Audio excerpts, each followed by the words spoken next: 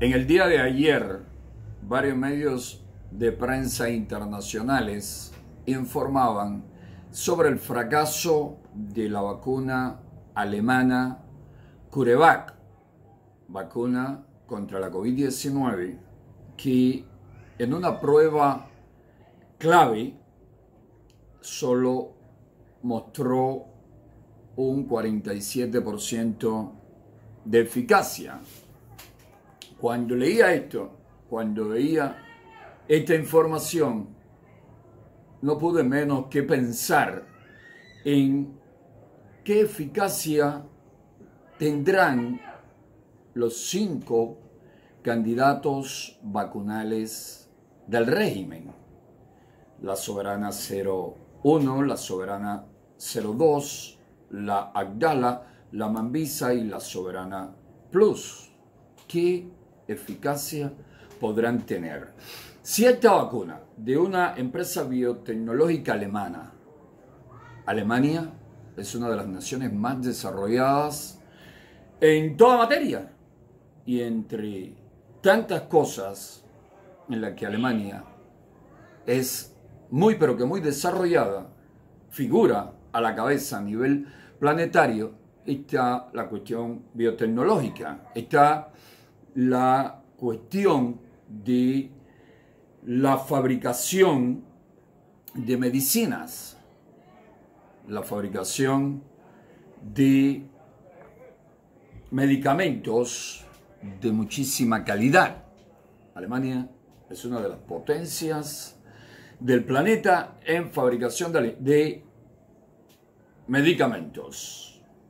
Y me dice, una vacuna de una empresa alemana pica tan bajo, marca tan bajo, 47% solamente, ¿qué puedo esperar de los cinco candidatos vacunales de un régimen que no sabe hacer aspirina, que no sabe fabricar antibióticos, que no sabe fabricar permetrina para los cientos miles de cubanos, incluyendo muchos niños con sarna, que no saben producir alimento, que no saben producir absolutamente nada de calidad, nada que valga la pena.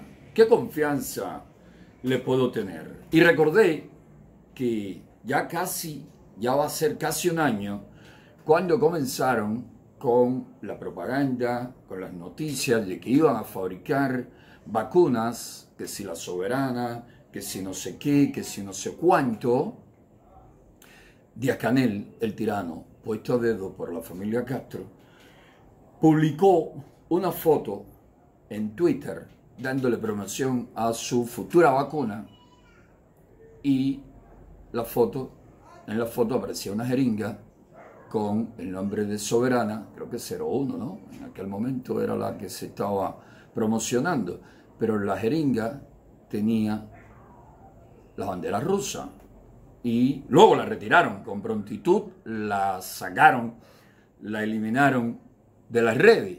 Pero muchos nos preguntamos, ¿será que van a presentar acá como soberana una especie de variante de la vacuna rusa Sputnik 5?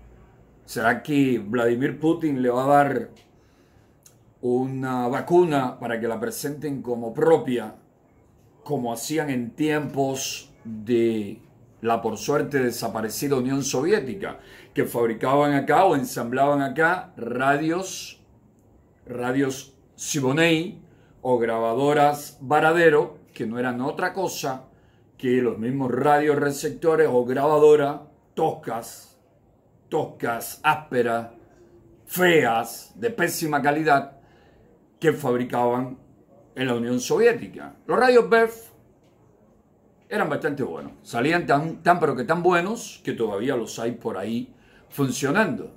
Yo los usé mucho para oír Radio Martí, para oír Radio Camelo Fuego, para oír La Voz de la Fundación, para oír emisoras de onda corta de Estados Unidos, de Europa, de América Latina y de medio planeta. Estas emisoras de Taiwán, de Japón. Hoy yo con el radio aquel fabricado por los comunistas. Pero me dice, ¿será que hace casi un año, será que nos van a presentar una vacuna como propia cuando es en realidad una vacuna rusa?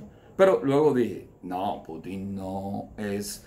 Putin es un tirano, es un criminal, tan tirano y criminal como los líderes comunistas que gobernaron, que tiranizaron a la Unión de Repúblicas Socialistas Soviéticas. Pero Putin es mucho más pragmático y no está en esa onda de los comunistas soviéticos de mantener al comunismo para tenerlo como punta de, lanza en Occidente, para tenerlo como satélite a las puertas de los Estados Unidos. Me dijo, no, no, ahí es difícil que el dictador, el criminal ruso Vladimir Putin caiga en esto. Bueno, lo cierto es que luego empezaron a crecer los números de candidatos vacunales y ya van por cinco. ¿Cuál es la eficacia de cada uno de esos candidatos? ¿Cuál es la eficacia de la Soberana 02, que según ellos es la más adelantada y ya la están probando y la quieren vender a otros países?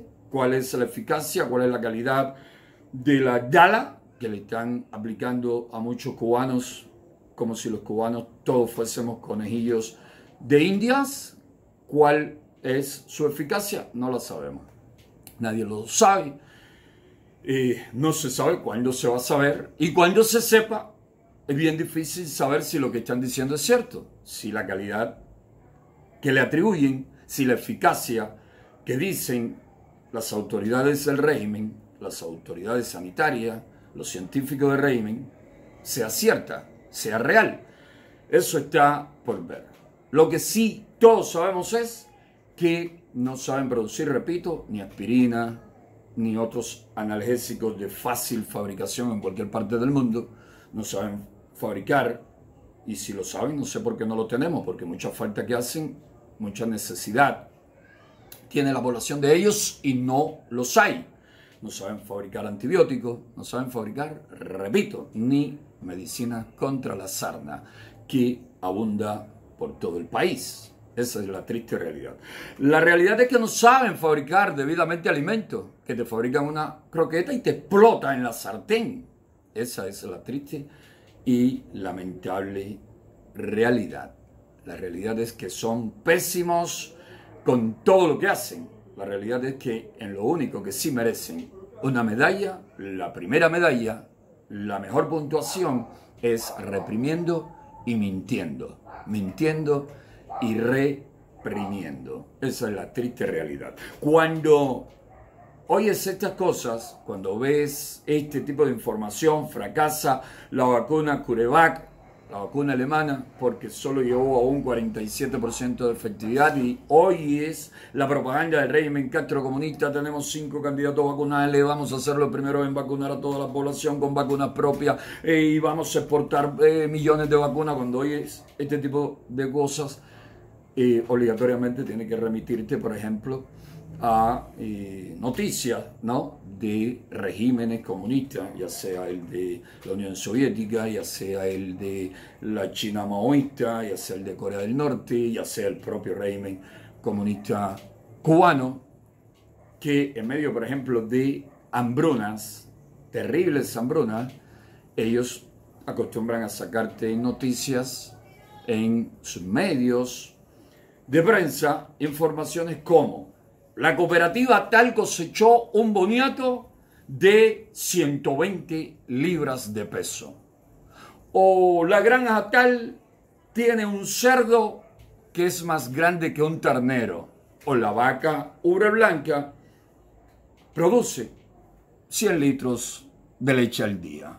Eso es lo que a uno le viene a la mente cuando uno analiza la propaganda de los regímenes comunistas y cuando uno vive, cuando uno conoce la triste y lamentable realidad que se vive bajo estos regímenes explotadores, esclavistas, criminales, infames, regímenes que hay que combatir.